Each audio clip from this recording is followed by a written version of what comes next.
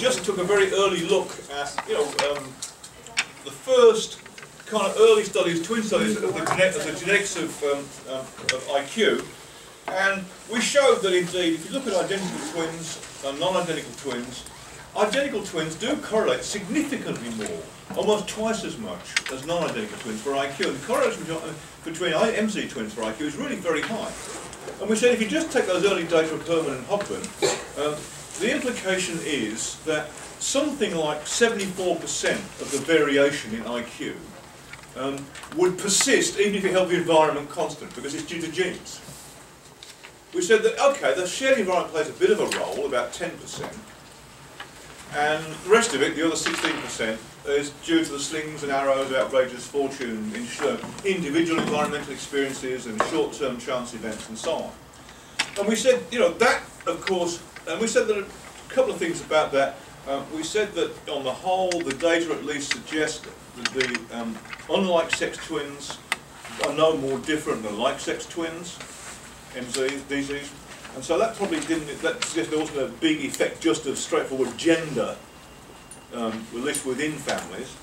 And we also said that actually the correlation for twins is about the same size as um, DZ twins, is about the same size as that for siblings. So in a sense we've got some small test of the model, but in a sense we haven't really explored its broader implications. Every model in science has to be put to the test. You know, does it apply to everybody or is there something really weird about these particular data? Um, but we, and I thought just before we do that, I want to look at one more set of twin data, which kind of extend the model in a slightly broader sense by looking at not IQ, just IQ, but looking at other variables which are sort of, perhaps to some degree, expressions of our cognitive functioning and how this goes on in society. And so I thought it'd be fun just to, um, uh, since we to deal with chapter 7 in the book, um, but I think um, I don't you not even, I don't you, they get, they, get, okay, but it'll, it'll, it'll sort of, you know, if you can get all of the book, you can get this chapter. Um, this is a table which um, came from, uh, and didn't come from geneticists or psychologists, it came from econometricians. And in the late 70s, just really as the IQ thing was hitting the fan, um, these um, Behrman, Taubman, T-A-U-B-M-A-N, and Wales, um, this actually is from earlier um, paper by Taubman in 1976, got the um, got male twins and quite a large sample. I think it's sort of um, I think it's about yeah, it's a thousand, just over a thousand pairs of MZs and 900 pairs of DZs. So they understood the need for a bigger sample. Um, they were males, unfortunately, but there are reasons for that when you look at the variables. And what they did was to uh, obtain um, their amount of schooling, educational attainment, probably years of, you know, years of education. Um, they got their ratings of their initial occupation when they first entered the workforce, and then their later sort of you know adult mature occupation as it were. I think they were I think they were about 55 when they were studying. So they're all about the same age. All sort of you know middle aged. And they also got the amount of income reported on their tax returns. So you know here we're not dealing about some abstract construct, you know, IQ, which sort of psychologists kind of invented, but we're actually dealing where the rubber hits the road. You know, this is how much you can screw out of Uncle Sam. These are American twins. Okay. And, um, and what I just thought was interesting um, for two reasons. This was really probably the first really thoughtful and large sample multivariate twin study. I mean, if you know, for those of you who are kind of doing PhDs in this kind of stuff, you'll be you know, you'll be sick of hearing about multivariate genetics and model fitting and MX and all this kind of stuff. I mean, you know, it's think that we all invented. Well, we didn't. These guys were really the first really good multivariate. So actually, and came up with all the methods of analysis and thinking about the problem that we invented, like sort of, you know, ten years later. So um, it's worth. It's just worth, you know, remembering that you know, some very smart people out there. And these guys were not, they were econometricians. They really wanted to understand. It started because the, they'd heard the row about IQ. And there was a, an economist called Arthur Goldberger who was, you know, really being ugly about geneticists, believing that anything, could, anything important like IQ could be genetic. And these guys, and somebody said to, you know, well, hey, Paul Taubman, you know, what would all this mean if it's true? What would it mean for economics? And this was to go out and they got the data. So let's just look at the numbers. Um, the data look a bit more complicated, but what I want you to there's really two, there's two sets of rows. There's MZ twins, the top four rows, and DZ twins, the bottom four rows, right? And then the, um, then the sort of, the four left-hand columns are just the relationships between the variables if you ignore the twinning piece. The bit to focus on are the cross-SIB correlation matrices. Um, these are the these are the correlations between twin pairs. Okay. So if you look, for example, if you look at schooling, S, and look across the cross SIB correlation matrices for the MZ twins, we have a correlation for MZs of 0.76. Actually, not unlike the correlation for IQ, really. Yeah, it's in the right ballpark, that ballpark, okay? And then if you go down to the 0.53, Ignore the 0.47, the 0.44 and the 0.48 for the moment, well, for, for probably the rest of the class at this time. You've got there, that is the MZ correlation for initial occupation, 0.53. And the MZ correlation for, ad, for later occupation, sort of midlife occupation, 0.43. And for the amount of money you um, make in the year, 0.54. Okay, that's for MZs. Now, let's go down and look at the DZs. Okay? Schooling, 0.54 DZs. What's the correlation for MZs? 0.76, okay. Now, these are quite, know, we're now talking about quite large samples here, right? Um, a rule of thumb, if you want to know what the standard error of a correlation coefficient is, right, roughly, roughly you take the square root of the sample size and take the reciprocal. So, you know, if you say, well, okay, there's 900 pairs, right? The square root of 900 is 30. 1 over 30 is, what, about 0.03, right? In round figures. No, just, I mean, develop a gut. You know, yes, you can get all this out of a computer, but develop a gut. It's not exact, but it gives you a good feel for you know what's going on. And you start to make a fool of yourself and also have some fun with numbers. So that 0.76 is probably 0.76, you know, plus or minus 0.03, right? The 0.54 is roughly, well, it is 0.54 plus roughly 0.03. So, what's going on here? What, what's this tell you about what the causes of similarity between relatives and individual differences for how much schooling you get. Don't be bashful. I'm not taking. I'm not assigning. You're not assigning grades, are you, Julie? No, no, no. Right. Genetics. Genetics, right? Okay. Genes are playing a new role. Okay, now thinking from what we did last time, how big is the genetic? What is the estimate of the contribution of genetic factors if we assume that the model we're using here is a similar one to IQ, how would I get the estimate of the genetic contribution from those two numbers? Again, you know, either shout out what you think the answer is or tell me how you do it. Yeah, go for it, please. Um, 76% for school. Now, where'd you get the 76% from? Um, Oh, I'm sorry. I was looking at. No, okay, you're, you're in the right ballpark. You look at the numbers. That's a start, right? But that, that's not how you. That's not quite how we do it. If you got DZs as well, right? It's a formula that we used yesterday. Yeah. Okay. Right. Somebody over there on the back row. I thought they saw a hand. Did I see a hand raised on the with the blue shirt there? Who me? What? do you want to give it a shot? How do I get it? 0.44. Tell me how you did that. Um, 0.76 is VG plus common environment. Right. VCE. Yeah. And the DZ uh, is 0.54, which is half VGE. Right. Plus, uh, Go for it. plus yeah. VCE. So Yeah. you cancel out the common environment.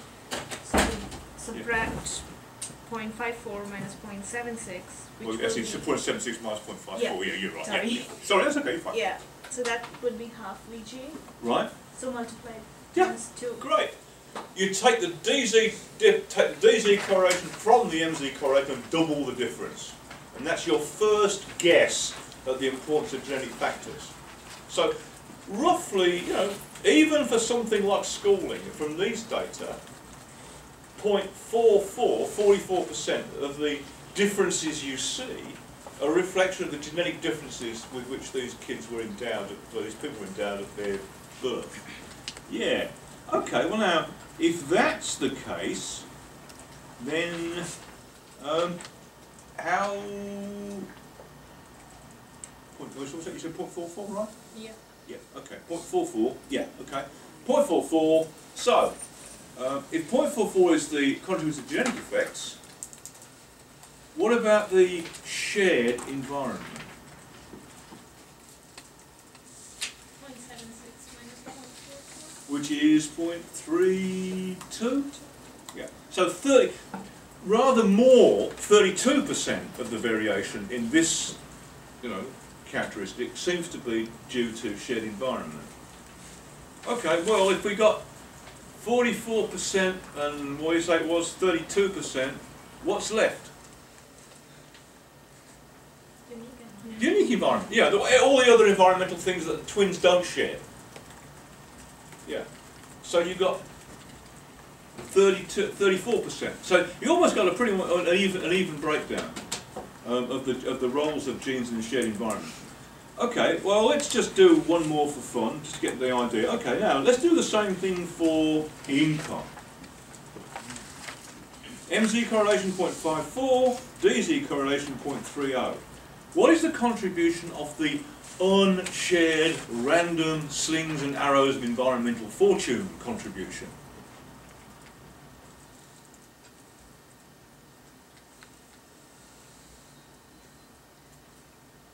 Arithmetic. Take the difference between, uh, just, okay, I mean, you've got fifty-four percent is the correlation for MZ twins, and that's all the stuff that MZ twins share. What's left? Unique environment. Yeah, okay, so, go on, heard, One four six. 0.46, right, 1 minus 0.54. So, in this case now, 46, you know, by the time these guys have got to middle life, okay, the astonishing thing is that they still correlate 0.56, but the, re the rest of it, the 0.44, is all the things that have happened to them since birth as individuals.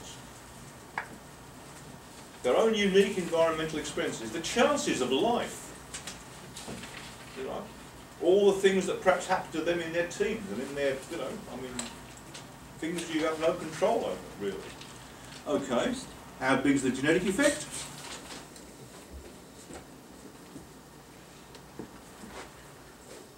If you don't know the answer, how do you get it? Come on, come on. It's easy. Zero point four eight. You. So you're going to take 0.5, you take 0.54, subtract 0.3, that gives you 0.24, right? Multiplied by 2, yeah, you got it. I mean, it's, it's, it's, it's almost mindless actually, isn't it, really? It's, it's fun. You know? Point You- 0.48, so nearly 50%, even at the age of 55.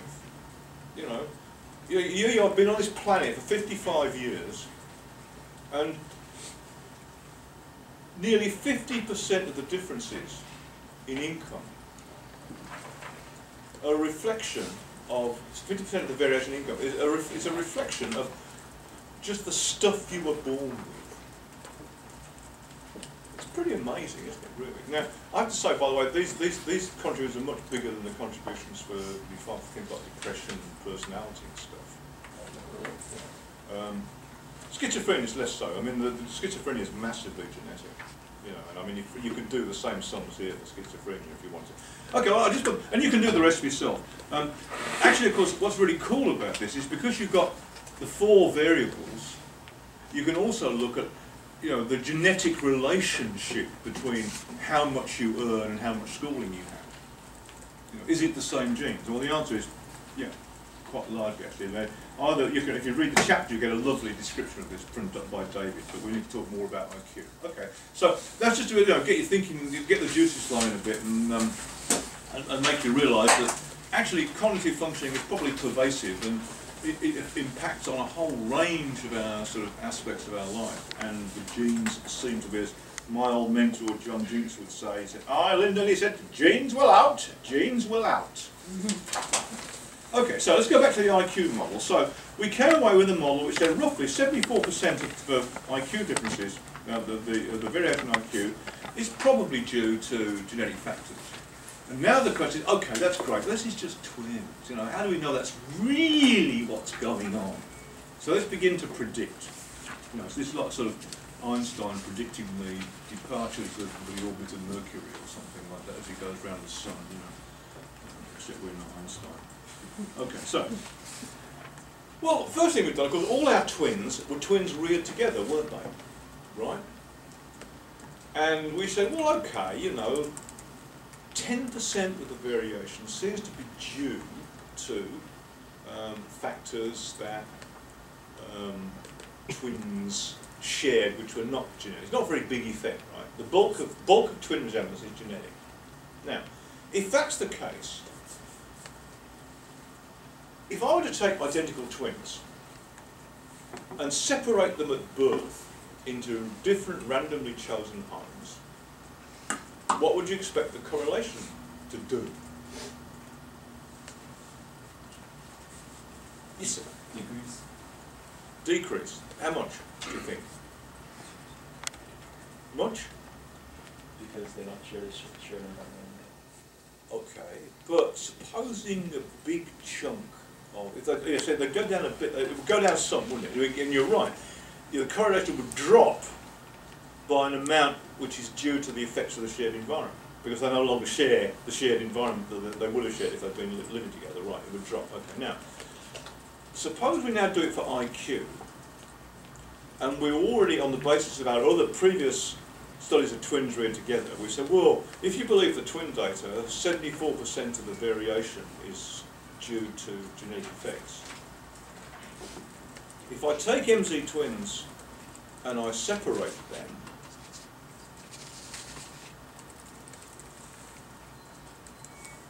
is their correlation going to drop by much? Well, let's suppose, okay, suppose the shared, suppose the shared environment explains 10% of the variance, okay? Monozygotic twins together share that effect, so that makes the MZ twins correlated by whatever amount they are.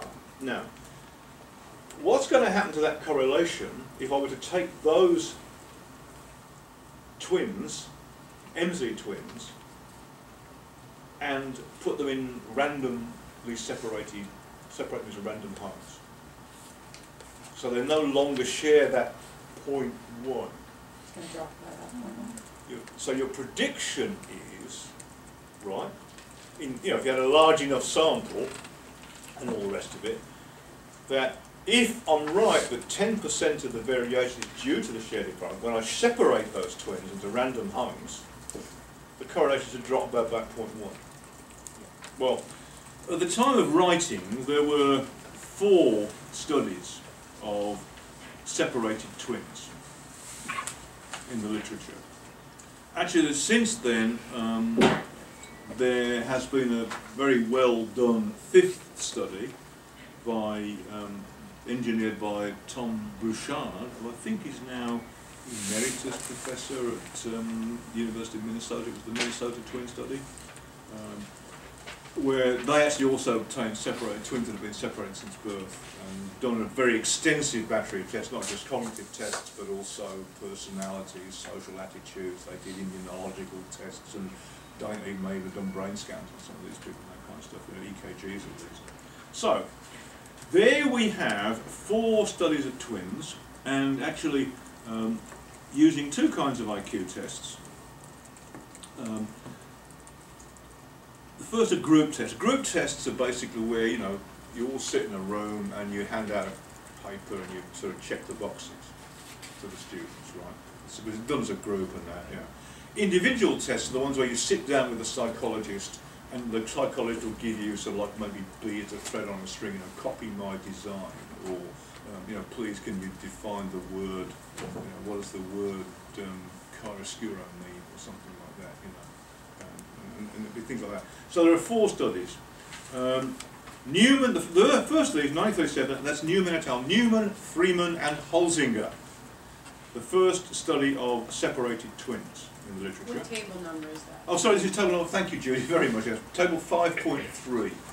Yeah, now we're back, back to chapter 5, table 5.3. Page one ten. I don't know the page number, I'll copy it, yeah. It's in the text, 110 of the book, but it's five, just the 5.3 in the, on, on, on the sheets you've got. okay. Oh, you're looking at, some of you have got the, some of you looking at the. Got 'em? All got 'em? Yeah, okay. Um, so, four studies, Newman, Freeman, Holzinger, 1937, classic, classic study, really, you know, I mean, set the tone. Um, Jerry Shields, Jerry Shields, 1962, worked at the Institute of Psychiatry. Um, Jerry Shields was a phenomenal guy. He was actually, um, I think he had, um, I think it was muscular dystrophy. Jerry Shields used to drive a ride around in a wheelchair. And an astonishing character and a, and a very much loved and respected scholar of his- of his day. He's now sadly died. Yeah, Jerry Shields, Jerry Shields, oh God, I remember Jerry Shields used to drive a Mini. And he used to strap his wheelchair on the back, and a Mini, the Mini, the sort of now a smaller Mini. I mean, the real, the English Mini is much smaller than the American Mini. You know, I mean, this was sort of, it was about the size of this table. You know, this table. he, he, he strapped it, he had a yellow Mini, he strapped the wheelchair on the back, and he sit at the front, he'd drive down Denmark Hill like a man sitting there doing this all the way. Thanks God, you know, to make it to the bottom of the hill. But a, a phenomenal character, much loved, and a great and a great influence on the field, particularly in psychiatric terms. He and um, a guy called Irving Gottesman, who is actually still out at UVA. I think he's no, he's retired now. I back to Minnesota again, um, and um, did some some very seminal early work on genetics of personality, for example. 38 pairs, and the nice thing, Shields wrote a book on these pairs of twins called Monozygotic Twins Reared Together and Apart. And the beautiful thing about this is that at the very back of the book, there's a great appendix where it actually gives the most wonderful sort of clinical descriptions of each of these twin pairs. You know, describes their environment, describes where they, they grew up and all that kind of stuff. And so you get a really good feel for the sort of for the care and quality of the data. Um, I mean, there are some real horror stories. Now, it turns out that one of the one of the pairs of twins was separated because the father sold one of them off. I mean, you know, that's yeah, right, yeah, duh, yeah. um, the Juel-Nielsen is a very small Danish study. Cyril Burt. Now, anybody, anybody heard of Cyril Burt? 1966. Cyril Burt was a very eminent British psychologist and editor of a journal. Um, he was also the um, sort of advisor to the City of London Education Authority. And it was Cyril Burt who um, really set the tone for probably the next 50 years of English education by deciding that at the age of 11, every kid should sit a test, including an IQ test, and on the basis of that, they would be assigned to their next sort of their high school. And so, you know, if you were a smart kid, you know, and I got lucky, you know, and you went to a really good school where you know school crest on all the books, and you got to write with real pens and that kind of stuff, and had the, you know, the brightest and best of the teachers. And if you didn't, you know, oh, that's tough, mate, you know. So I mean, it's an illustration, and of course, partly because he was uh, looking for, you know, genetic gifts. And of course, it wasn't, you know, in that sense, it was, you know, he was really sort of, I mean, I could never have afforded to go to university if it had not been for you know, I mean, because I'm an ordinary kid from a relatively sort of lower middle class kind of background, you know, and so I was a beneficiary of that system. You know, it was, it was supposed to kind of sort of focus on the innate gifts of the kid rather than whether a parents could afford to sort of send them to a good school. Which I hope is the sort of, anyway, yeah.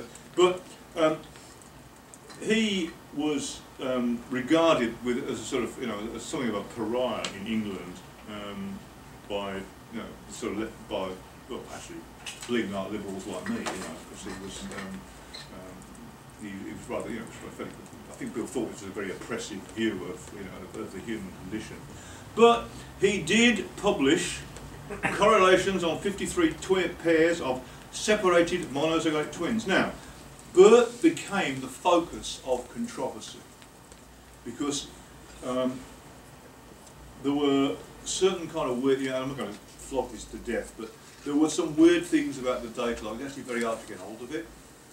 Um, the two women who worked with him, um, one was a Margaret Howard, Um, I don't think people had great difficulty ever tracking her down.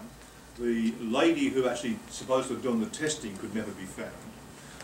So you know there were sort of um, there, there was a lot in, in, in when the in, in the mid 70s when everybody was trying to discredit the whole idea of IQ, Burt's data became the sort of the, the target of, of some opprobrium. Um, and in fact, so did Jerry Shields. That was well, Jerry Shields actually had the numbers. Actually, I did at once. Um, I did get. I ended up we managed at one point to get hold of Cyril Burt's numbers. Um, but the thing about it was they were too good to be true. The mean for the first and second twins were all so close. Know, I mean, it's like Mendel's Mendel's results. You know, whereas Mendel, you know, Mendel's ratios are too close to be true, really. You know, because of chance. You know, I mean, uh, too good. Um, so it's a bit true. Something about Burt's data too were just a little bit too good to be true. Yeah. Okay. So anyway, point seven seven. Look at those. I mean, um, what do you get for okay MZ twins in um, Uh, MZ twins in table five point two? 0.84, right? Twins reared together, 0.84. Twins reared apart, 0.73, 0.77, 0.77, 0.77.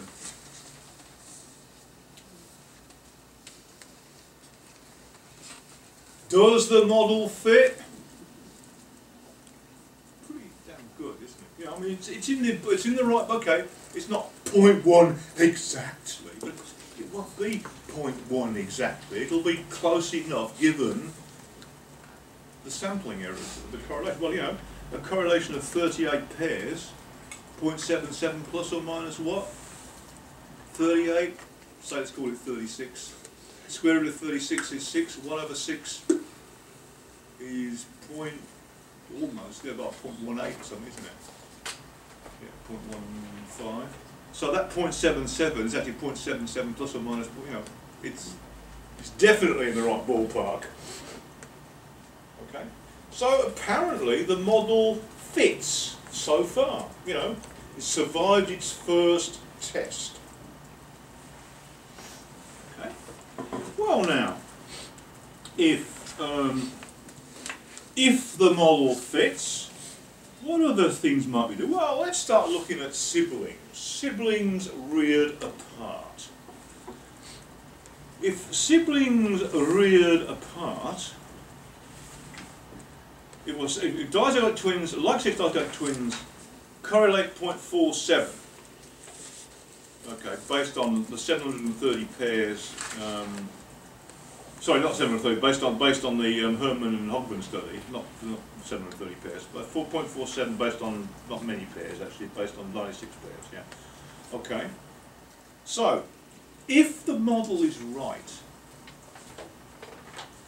if the model based on twins is right, what kind of prediction would you make and why for the correlation between siblings who have been separated at birth?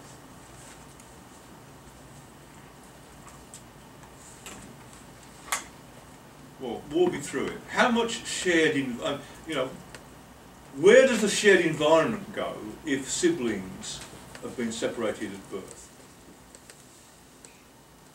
There should be no shared environment. There'll be no shared environment of the similarity, right? No, exactly right, yeah. So there's no CE, right? Let's actually, why don't we, why don't we sort of write the model up as much as easier. Okay, so you've got, um, okay, MZs, monozygotics together, let's say VG and VCE, and MZ twins really together have one VG and one CE. Um, dizygotic twins read together, we said, have a half VG and VC. Monozygotic twins read apart have one VG and no VC. And let's say full siblings reared apart, FSA, have half VG, oh, no, VC and how much VG? If the model's right. Okay? Half, right? Now, What's our estimate of VG roughly? Point, what do you say, point seven four, something like that, roughly? Yeah? What's estimate of VC? E? Yeah, okay, so what would we, well, here we've got correlation is R is 0. Point, what did we say that was? 84? 0 point, um, 7.3747. Uh, twins, we've got 0.75, let's say, in round figures, averaging. What would you predict the correlation here to be? What do you think it would be? Point three seven. Yeah, okay, yeah, why? It's guys I got the three together minus the common one. Good. Yeah, excellent. 0.37-ish. Give or take whatever, you know, sampling errors, okay? Well, let's look at the numbers. Three studies, and it's doing the right sort of thing, but it's not actually, you know, this is more like, what, 0.3-ish? Probably an average 0.35, I don't know. What do you reckon? I mean, it's, it seems to be sort of tie up reasonably well, but it's not perfect. But it won't be perfect because the division's different. Population, you know, the answer you get to any of these things depends on how you measure the trait to some degree, and of course where you get your sample from. If I do it in Iran and do it in Australia, I'm looking at different gene pools, different, you know, cultural contexts, different ranges of environment, different educational systems, that kind of stuff. So you know, you can't guarantee you're going to get the same answer um, with different, exactly that answer, different studies. Okay. Well, now, that's kind of taking the genetic similarities and separating the environments. That's one way to do it. But you know, now you begin to think, oh gosh, well, a lot of things I can do with this now, right?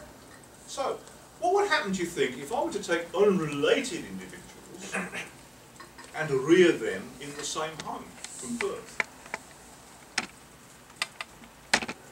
No genetic. No genetic similarity, right? In shared environment. So any correlation you see is going to be due to the fact that they've been reared in the same homes. Yeah, okay, well, yeah, the adoption study. Of course. Oh, duh. Yeah, right. Now, think about it for a minute, of course.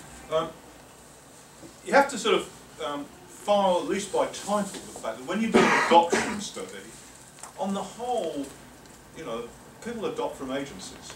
I mean, I know, I've got a, um, a, a friend who actually works, works on twins um, in another uh, university who went through the process of adoption and, you know, was very rigorous. I don't know, I had to sort of write, oh, you know, who can you trust to write a recommendation? Get your local vicar, right? Know, I had to, I had to write a letter of sort of, you know, of kind of support. You know, they're all being great parents. You know, kind of. It's all true. They are great parents, but you know, nevertheless, you know, a lot of care is taken over the adoption process.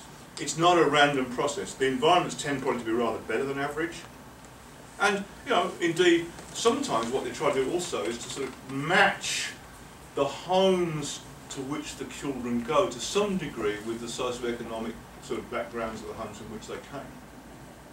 You know, so there's a whole bunch of things that might go wrong with adoption studies in terms of, I don't mean wrong socially, but wrong in terms of science. You know, it's the problem with working with people. You know, you can't randomise your rats over the environments. Um, but nevertheless, lots of people have done it. And not, um, including Cyril Burt, if you believe him, yeah? I have, a I have actually have a letter from Cyril, I take that in a minute. Um, anyway, table 5.5, IQ correlation between all siblings reared apart, re- reared in the same home. Based on what we already think we know, what would you expect the correlation between unrelated individuals reared in the same home to be? If it's shared environment, Point how? one. Point one, yeah, give or take. Yeah. What are we getting here? Well, okay, 0.34, 0.25, minus 0.03, 0.33, 0.23, 0.05, 0.5, Skodak and Skeels. Yeah, right. I mean, yeah, you know, it's a bit of a mess, isn't it, really? I mean, you know, um, well, actually, this is, there's Cyril Burt, for example, 0.25. Now, Cyril Burt, therefore, was already already looking at um, already looking at a whole range of correlations. I mean, you know, and the one that stuck out like a sore thumb is not fitting really quite that well with the model, with the unrelated read together, 0.25. So, well, I, you know, I was thinking probably 0.1-ish. I got this letter from because I've written a paper in which he published in his journal, this theoretical paper. And um, he said, dear Dr. Isla, I wasn't actually Dr. Isla, I was still a graduate student, so I was very flattered. But he said, look, he said, I wonder if you can help me. He said, because you're obviously a geneticist and you understand these kind of things, which was really true.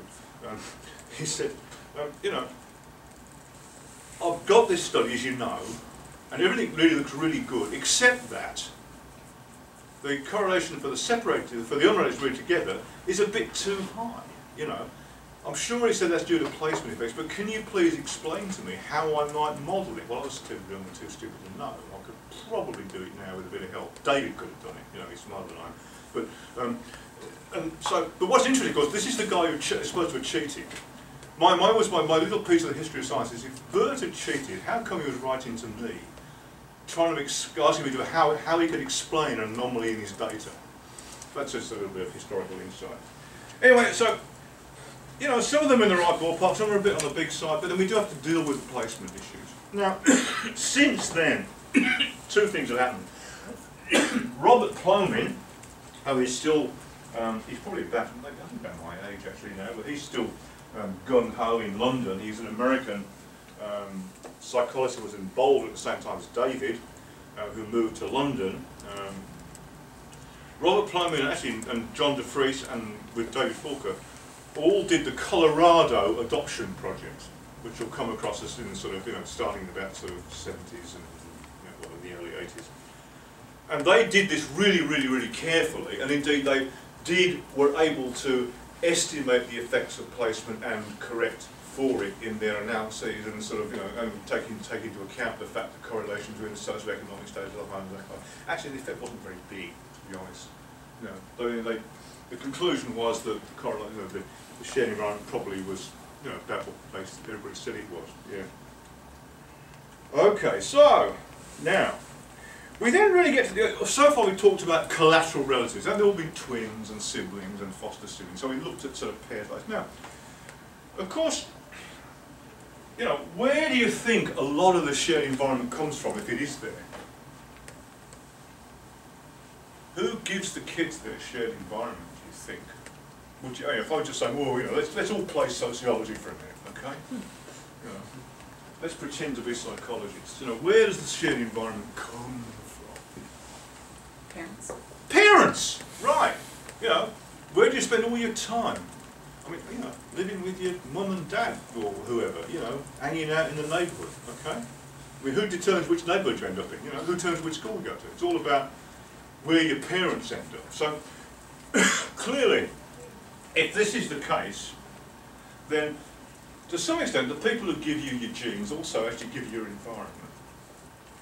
And so, if the shared environment is important, of course, this means that if you just look at natural parents and children and measure their IQs or measure anything about natural parents and natural children, you know, their, their children, any correlation you see there is also going to be a function of genes and shared environment, just off, off the shelf, you know, and then you have to ask, well, is it really, you know, what really is going on? So let's think for a minute about parents and offspring.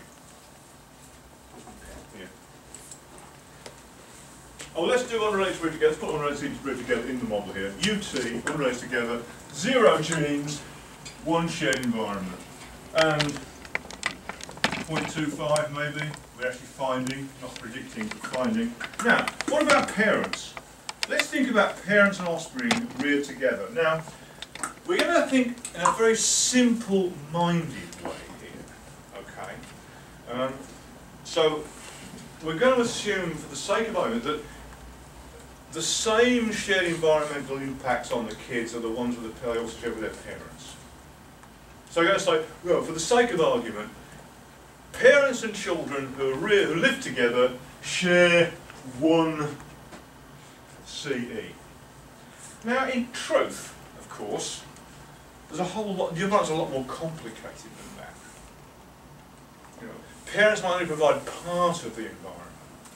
The actual answer you get depends on how you actually think of modelling the environment. There's a first shot, let's just sort of not, you know, I mean, this is really saying, look, you know, you've got a family, and the divine randomizer in the sky has a shuttle of whatever the divine stuff that the, sh- that the shuttle contains, and sort of does that. and it falls on the family and plop, you've got it, right? You know, if you happen to dig into a bucket of gold that day, the whole family gets the bucket of gold. That's the model. It's the cowpat model. I mean, English cowpat is you know, bucket of cow. That's what you find in a field. If you stick it you walk across a field. It's, it's a random blob of stuff that impacts on the whole family. That would make it look like that. Because you know, the whole family gets the same cowpat, right? Or the same bucket of gold. Now, okay, genes. Parents and children.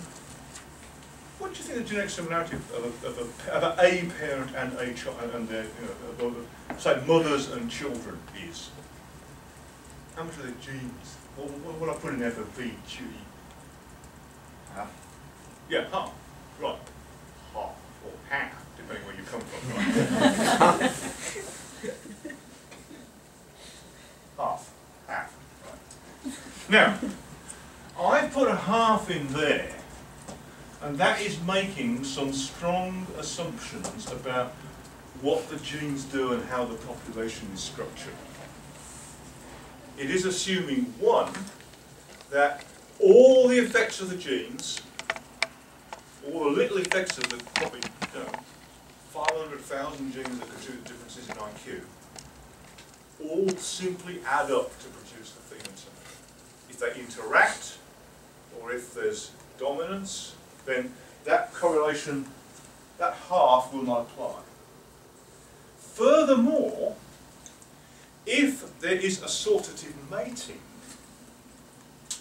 the genetic similarity between parents and children will be bigger than a half by an amount that depends on the strength of assortative mating. So, you know, we're assuming a very simple universe here. Okay. And of course, that's also true for siblings too. The same basic assumptions are made here and here. Additive genetic effects and random mating. Now, we'll see in a minute, it's no surprise, it doesn't require IQ 200 to point out that, um, you know, actually spouses do not choose themselves at random with respect to IQ. The correlation between spouses for IQ, sort of point three-ish. Point three-ish. You know, it's, it's not trivial. It's enough to have a genetic effect. And a social effect. You know, I mean, if spouses, the spouses that come together, when you choose your mates, you are choosing the packet of genes and the environmental influence to which you are committing your package genes and environmental influences. You know, terrifying thought, isn't it, really? Now, you know, for lot, it's more important, the correlation with IQ is more important than physical traits. Interestingly enough, it's not as important as the correlation for um, social traits, like educational status, for example. The correlation for educational status is much higher between spouses. It's more like 0.5, 0.6. The cor- of course, you know, what do you win? What's college about? College is not about getting educated, it's about choosing a mate, right? um, the correlation with social attitudes. For conservatives, I think we, you know, it's about, it's about you know, 0.5. It's really big, you know. It's, it, uh, so IQ is that kind of middle range. Personality is like zero. You know, nobody cares. It's an extra, you, know, you might think so. No, you don't really. Choose your spouse around. Okay, so that's that's so that's biological parents raising their biological kids. Okay, now supposing we take parents and adopted children. So that's parents. uh, So that's now a a foster parent and foster child living together. How much VG are they going to share? Zero. Right, good. Assuming what? Random. Yeah, assuming that there is no. I mean, obviously, if you start matching parents and you know matching foster parents with their, but uh, you're probably if you match on phenotype, you're matching partly on genotype. Same for choice of mate. You know, if you match spouses on phenotype, you're matching on for a genotype. So, yeah, in the assumption of no placement effects, that's zero. Under the great randomizer in the sky dispensing either gold or cowpat, what's that going to be? One. Yeah. Right. Okay. Well, that's one way of skinning. Now, let's look at the other bits now. Okay, now, let's take, supposing in doing the adoption study, I could measure the biological parents before their child was adopted, as it were. Well, at least I can measure the, you know, so I, I find, I find kids and I track down their natural parents and I measure them. Okay, so this would be parents and offspring reared apart.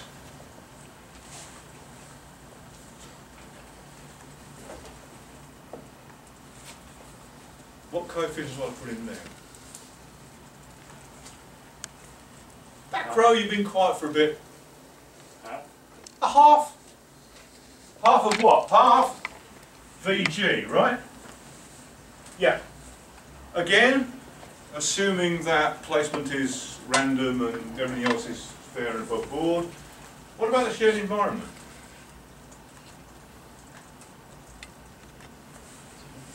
Zero, right, absolutely, good. So you're getting the idea, you see, because the thing about it, this is, this is a, a crassly simple model.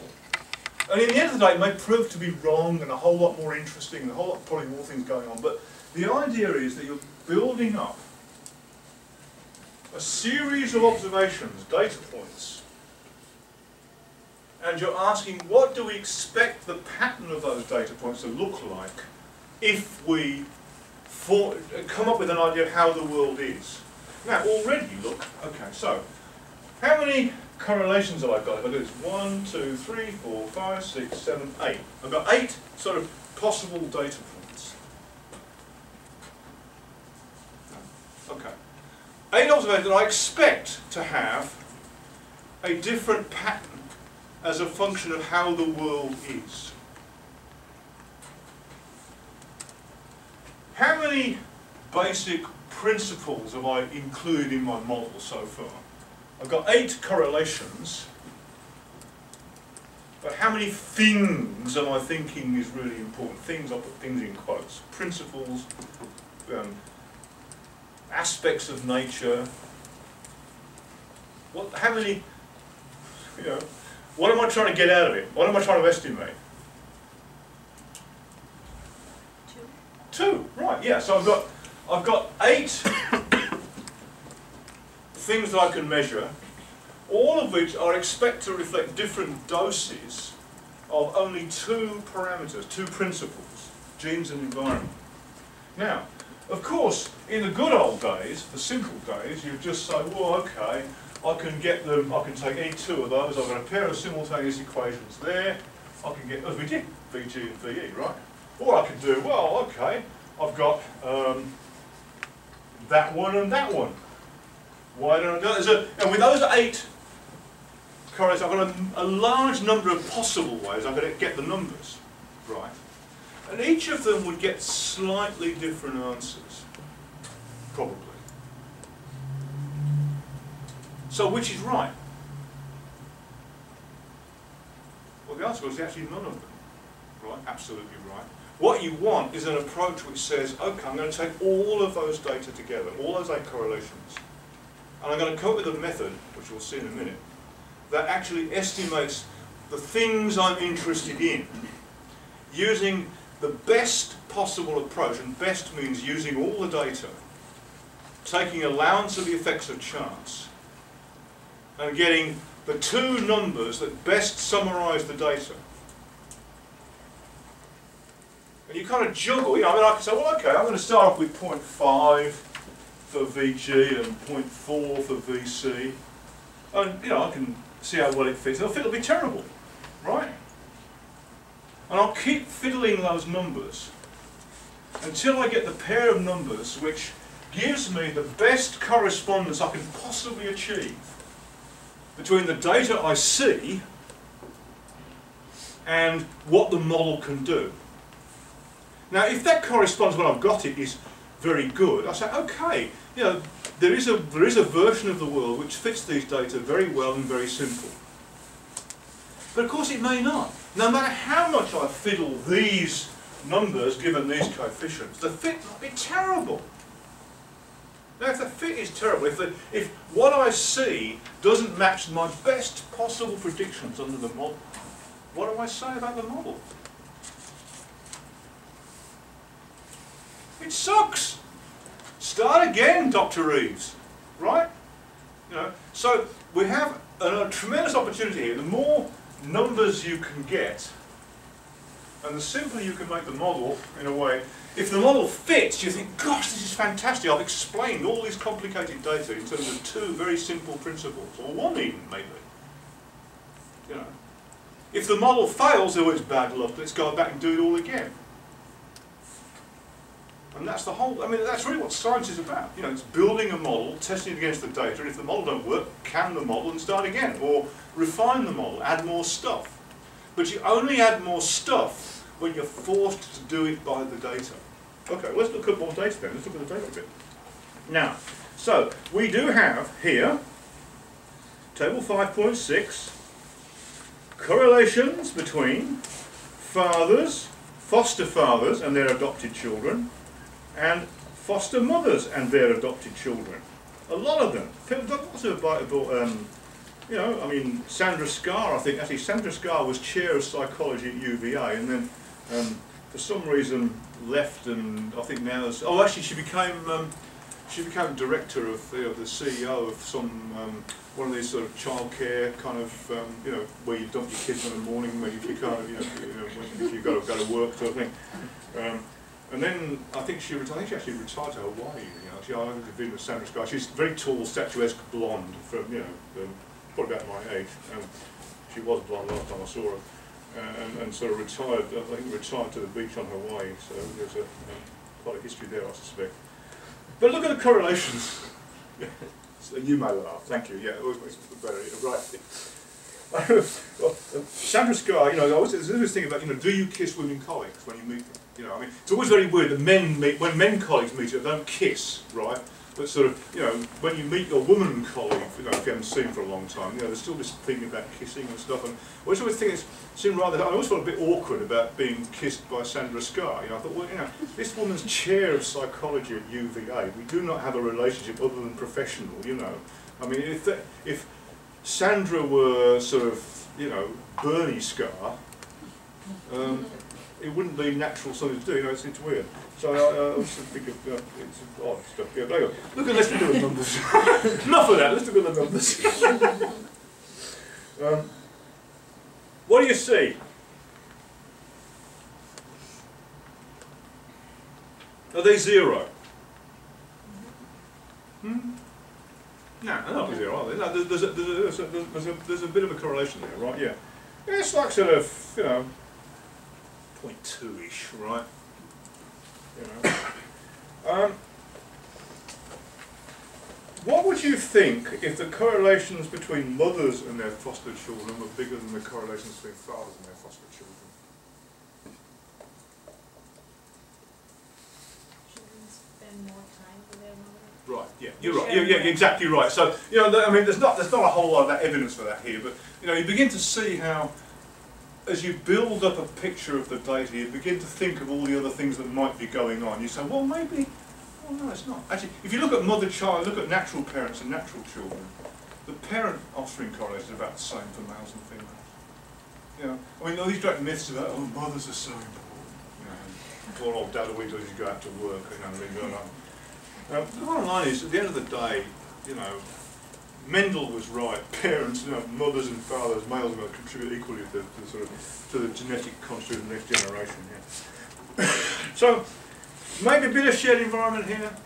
There could be of placement, but you know, it's not really that zero. oh darn! I've lost the heading to. Um, anybody got? Oh, look at the book. Okay. The next table, because I'll figure out what I'm looking and see what those are actually. Sorry about that, guys. Give me a minute. Um, chapter 5. Let's go to chapter 5. So I just want to fill out the headings on that table.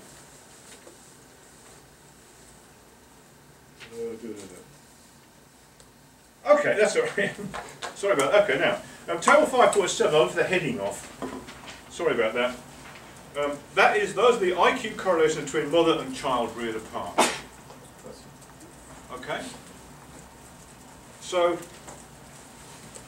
under the model, what are these? What are they measures of? Mother, child, reared, with the child reared apart from the mother.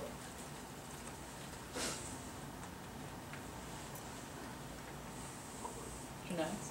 Yeah, genes, right. On the assumption of low placement and all the rest of it, and a bunch of other stuff, and the separation occurred at birth and so on and so forth, right. Um, small studies, hard to get the data. Well, not, you know, um, 0.4 Skodak Skeels, Horn, 75, Snygg 938, the largest sample, 0.13. Um, yeah, well, you know, you can't really tell, are not really big you've got three estimates, you could pull them, you know, and see which is the best, If you pull them roughly, you would probably get somewhere around about 0.25, wouldn't you, probably, a bit on the small side. Now, think for a minute. Think for a minute. When you look at the parent-offspring correlation, we are talking about just additive genetic effects. The model we're using says when you look at the sibling correlation, you're looking at just additive effects. Now the truth is that's not quite true.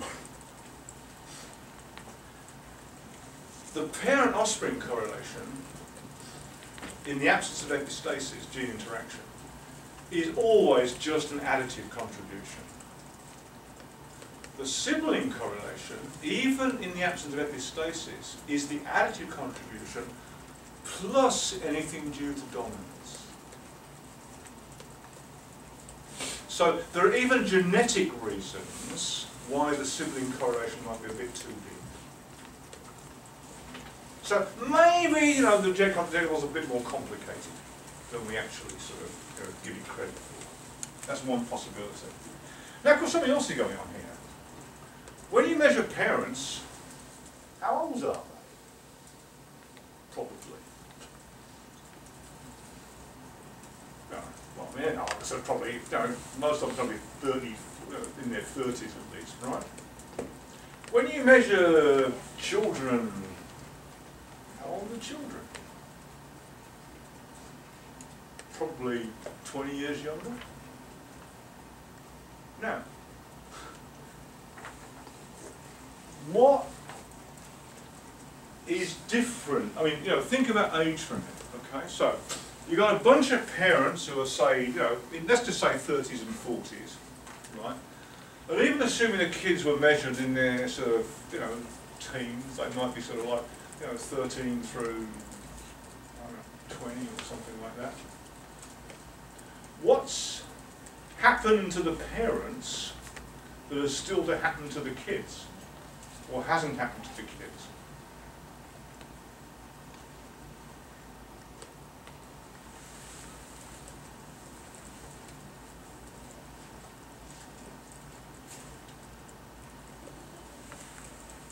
Well, the parents have gotten older for a start, right? Yeah. Okay. Now, you know, think about all the stuff that is going on as people age. You know, I mean, I joke, you know, because age, I oh, I'm all right, bits are starting to drop off, you know? Now, why, you know, my blood pressure starts to go up, my brain starts to rot. I can't, I mean, you know, I can think, oh God, I, got, I call it geriatric anomia. I can't remember, you know, when I'm teaching, I can't remember the names of sort of oh, either students or great scholars and that kind of stuff going on the papers, all right, you know, it's terrible, you know. Um, what causes aging changes?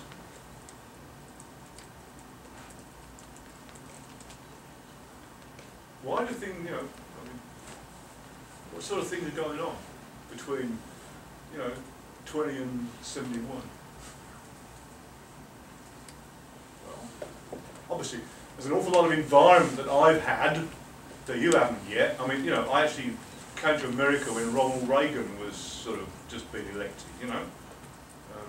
You guys oh, either weren't even here yet, probably, close, right? I I remember one of my, you know, teaching the, teaching our behaviour students, I sort of used the example of the shuttle disaster as what happens if you have a lousy model. You know, and I showed the movie of the Challenger going up and blowing up, and I suddenly realised one day that these guys actually, I remember that happening. You guys only can read about it.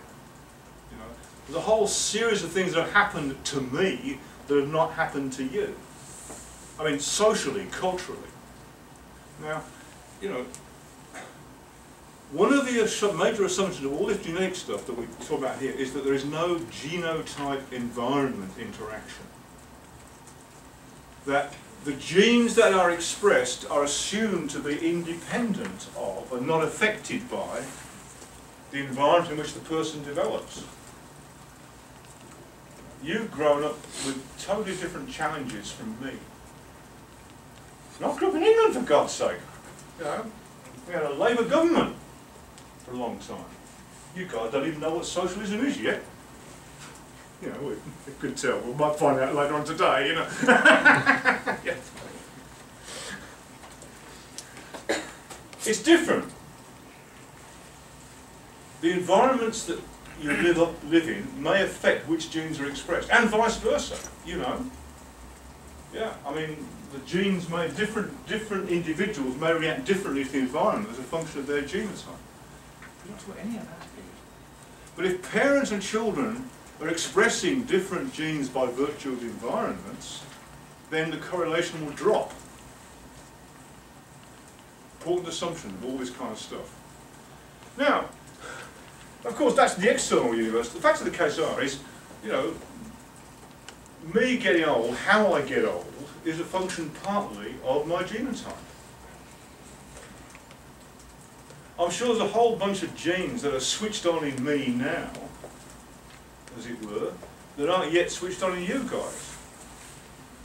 You know, the genes of cognitive decline, you know, the, the genes that control getting fat, and all that kind of stuff. You know, you've got a lot of treats to come yet. You know, the point again, if any, so insofar as the genes that are expressed in the adults are not the same as the genes expressed in the kids, by virtue of development, aging, you're going to get, you know, some weird relationships.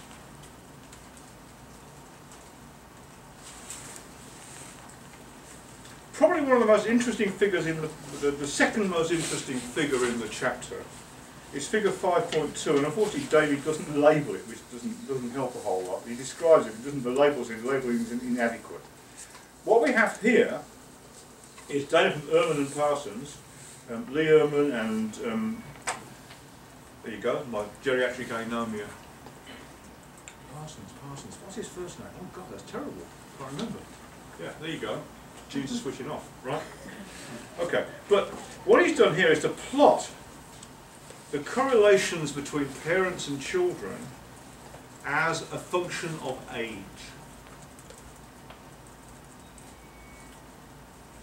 Right? The age of the child. And um, honestly, I'm not sure. He says it's mothers and fathers. I'm not sure which is mothers and which is fathers on this, but it doesn't really matter too much. So what you've got, the bottom curves, the sort of the dotted curves, are the correlations between foster parent and foster child as a function of the age of the kid. and the other two curves are the one for mothers and one for fathers. I think I think the left hand is probably mothers and the right hand fathers, just for the sake of argument. Okay, and the other two curves are one is the one is the correlation as a function of the age of the child between natural parent and natural child reared in the same home. And the other one is the correlation between natural parent and natural child reared in different homes. Now just look at the numbers and think about them for a minute. Look at the graphs. Okay, so let's look at the let's just look at the bottom graph, the bottom lines, the dotted lines, you know. How, firstly, how big is the correlation between the foster parent and the foster child?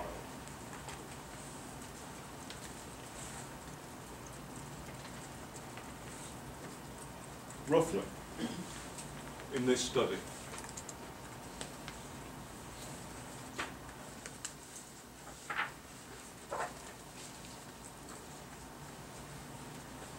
Any old number that seems to look like about right. I mean, roughly. You like to do the mental arithmetic. Look at the numbers. What do you get? Is it 0.5? No. Okay, so what is it roughly? Point oh five. Yeah, 0.05, 0.1. Yeah, it's low, isn't it? Yeah. So, on average, no, across the span of the ages looked at, the influence of the foster parent, which of course is social, as far as there is one, as far as IQ goes, doesn't seem to be doing a whole lot.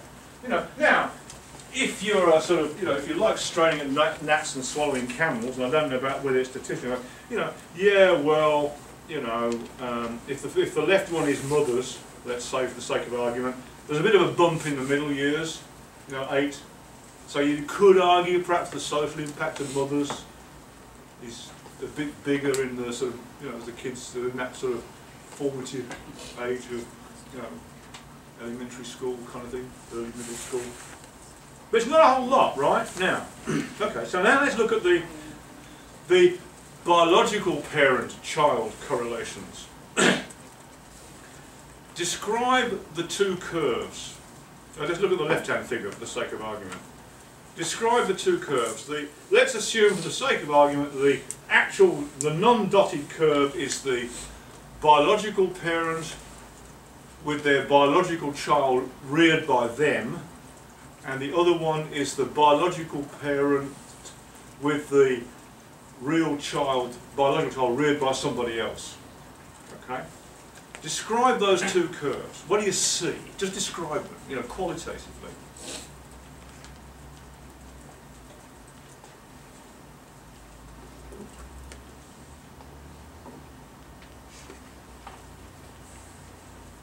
Pretty similar. They're very similar. Okay, they're pretty similar. Right, yeah, okay. Are they on average higher or lower than when you got the separated, you know, the children by their foster parents? Yeah, they're much higher, aren't they? So basically, the fact that they're biologically related is making them much more alike. So yeah, genes doing a lot in this in this study. Right. What else do you see about the shape of the curve? This is a Dr. Silberg question, really, because this is her kind of. Um, the same. well, they're the same, right? So there's no shape. There's this genetic rather than environmental. But look at the shape of the curve. When you go from, when they're two, when they're really young, very low correlation. As they get older, Yeah, the correlation goes up as the children get older. Now, what's that telling you about the genetic control IQ?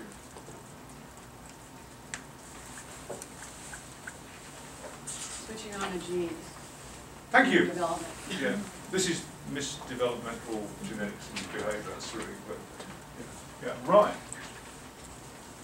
The correlation is going up because when the kids are born, yes, they've got all the genes they need to be adults, but not actually, to put it crudely, turned on yet. So when you measure cognition in early kids, you're not measuring the genetics of adult cognitive function.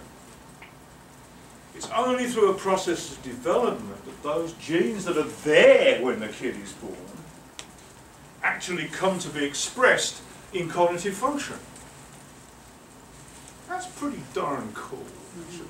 It's pretty darn cool. Now, uh, there's a bunch of us here who kind of dined out for probably 20 years or more on how do you begin to build models for the developmental dynamics of genetic and environmental change.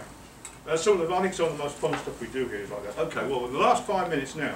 So we now have a whole pile of data. And we have some ideas about how the world might be. how do we put it together? And the answer to that question is most beautifully put in two tables and one figure. Table 5.9, which is from David's um, chapter. Do you have the table 22.1 in your, there's a big chat, yes you do, great.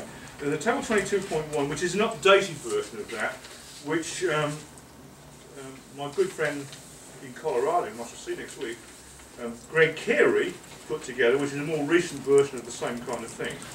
And what we have are two tables, one which goes back to the sort of um, late 70s and one which is actually been updated by like um, probably 20 odd years by um, Greg Carey, which give the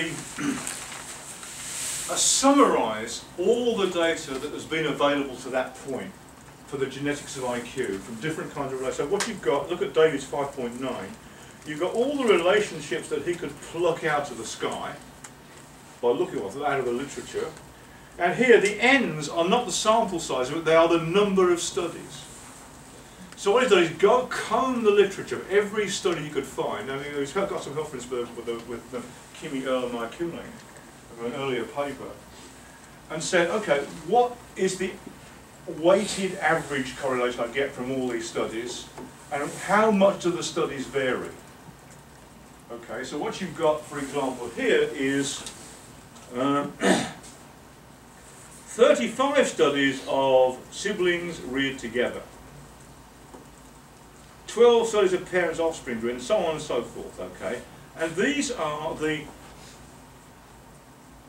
median correlations of each of those groups. So it takes all those correlations for siblings and says, what's the median value? Okay, you know, it looks at the data, something to sort of come up with a number which summarises all the different studies. And here, that's what that column is. When it says observed correlation O, that's what they are. That's what you actually find when you look at all the studies and put them all together, right? And then he's got our model, VG and VEC. Mostly halves and ones and mostly ones and zeros, right? A very simple, crude model.